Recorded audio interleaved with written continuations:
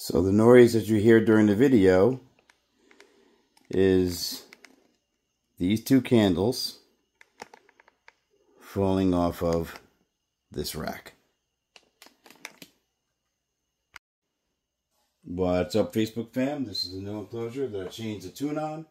It's an Aeroport, tuned to 26 hertz, and it's a 2 cubic foot box with the Ultimax 12, 1200 watt max, 600 watt RMS dual 2 ohm subwoofer.